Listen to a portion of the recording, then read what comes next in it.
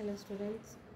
Today we are going to see the farm tractor subject unit 3 transmission system. So transmission system there are so many topics are there.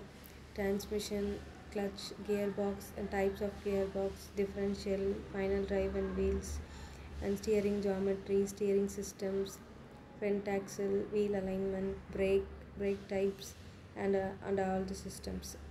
So coming to the transmission system and its components uh, generally now we are going to see transmission system and components what is clutch and its types construction details of the single plate clutch working of single plate clutch and clutch types. First of all we are going to see the transmission system. Um, all, are know, all of you know that what is transmission system already. So transmission system is nothing but the power developed by the engine which is transmitted to the rear wheels for the propulsion of the vehicle so this is the transmission system. Normally in automobiles, the power is developed by the engine which is used to turn the wheels.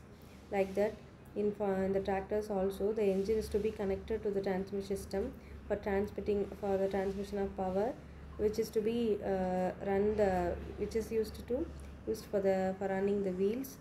So then next one is elements of transmission system system. So so we are all know that the transmission system needs so many components and so many elements which is uh, which is or as clutch gearbox propeller shaft universal joints differential unit final drive and wheels. Coming to the uh, diagram of the transmission system so the, the transmission system consists of the engine gearbox propeller shaft differential unit and rear axle. So from the engine from the engine to the rear wheel uh, the, the these are the elements which which is to be which uh, which helps to transmit the power from the engine to the rear axle or front axle um, to the wheels. So then uh, coming to the functions or purpose of the transmission system. So it enables the running engine to be connected or disconnected from the driving wheel smoothly so it, it enables reduction of engine speeds and it enables the driving wheel to be driven at different speeds. It serves as a safety device and so on. So clutch clutch is a mechanism used to connect or disconnect the engine from the rest of the elements. It is located in between the engine and gearbox. So during normal normal running and stationary position it is always in engaged position. And then so functions of clutch so it, it transmits the power to the rear wheels. It engages the gears when vehicle when vehicle is in motion.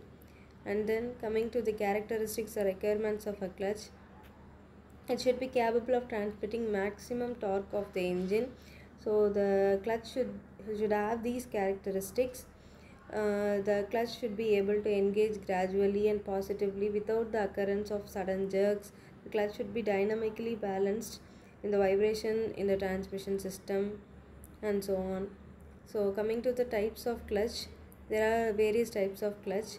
Friction clutch single plate clutch multi plate clutch cone clutch internal cone